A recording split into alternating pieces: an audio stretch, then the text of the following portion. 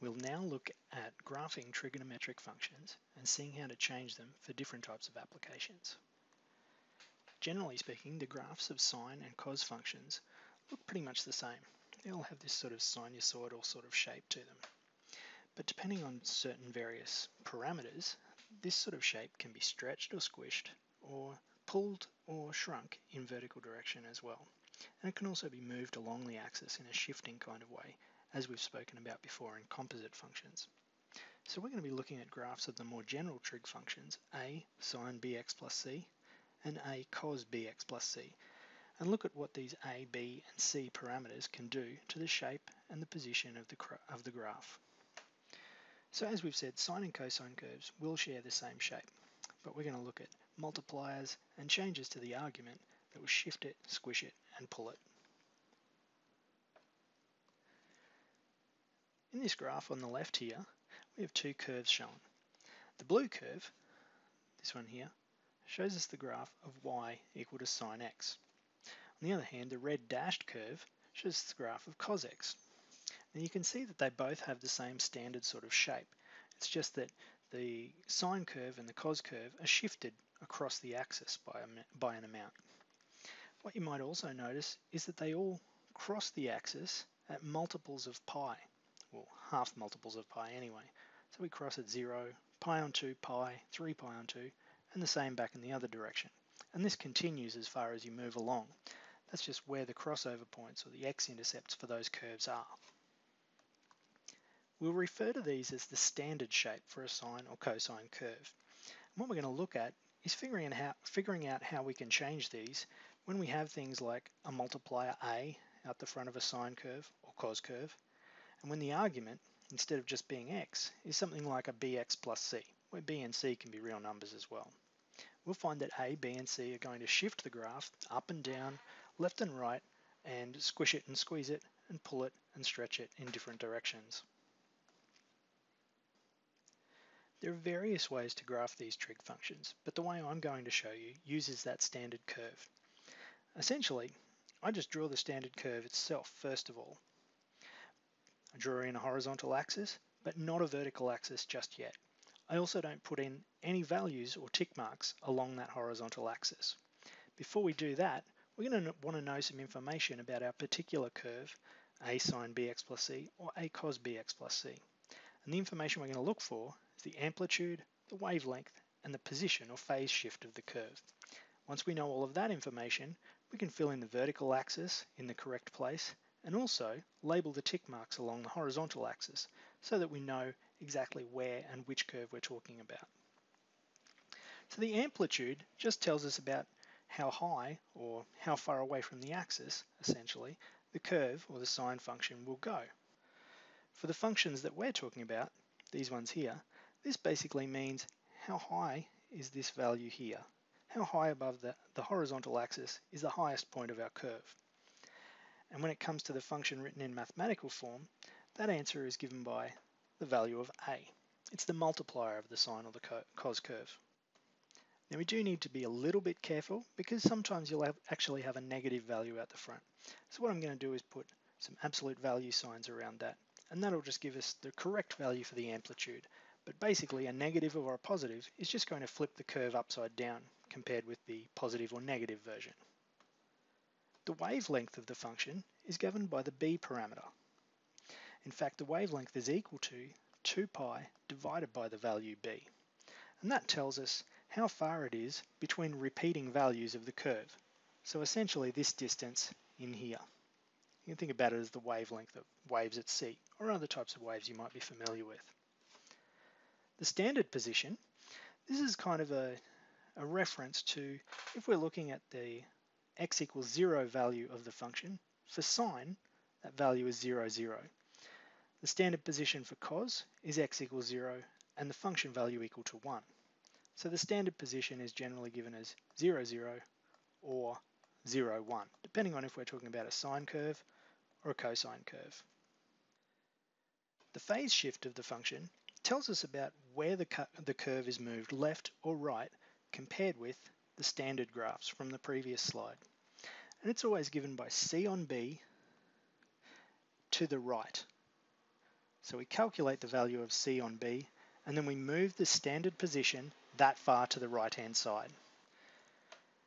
Now that's a lot of stuff all at once. So let's see if we can make that a bit more concrete by looking at an example. Here we're going to sketch the curve y equal to 3 multiplied by sine of 2 pi t plus pi on 2. Now just be careful here and remember that this is a function of t, not x, so our independent variable, or horizontal axis variable, is a t, and we're going to use that in our graph. Have a pause for a moment now and see if you can write down the amplitude, the period, the phase shift, and the standard position for this curve.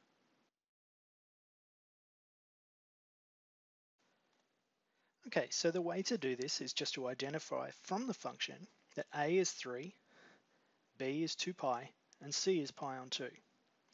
That'll then, then let us write down that the amplitude is also 3, the absolute value of 3.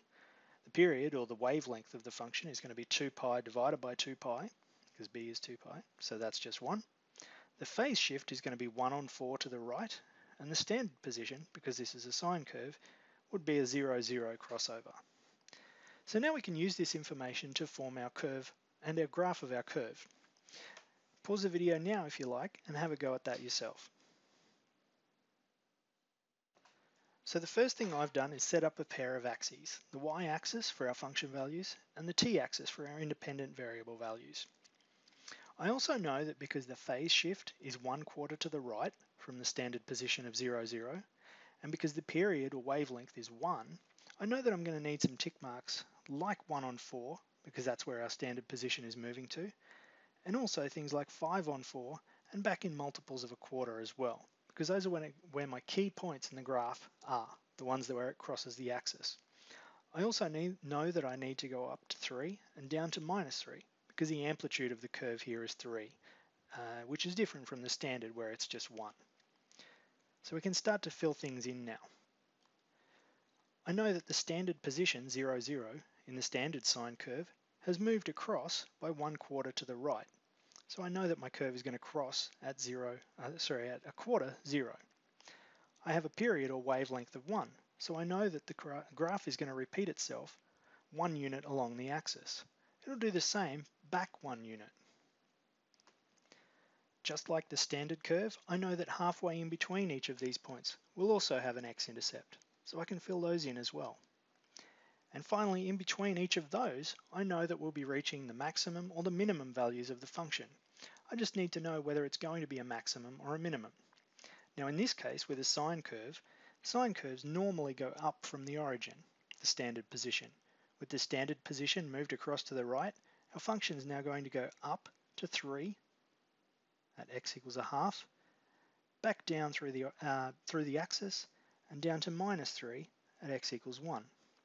Similarly, moving backwards, we'll go down to minus 3 at x equals 0, up through the intercept point, all the way up to 3 at minus a half, and back down again. Now at this point, it's just a matter of filling in the standard shape for the sine curve, and we're pretty much done. So we can do that by joining up all the dots with a sine-shaped curve.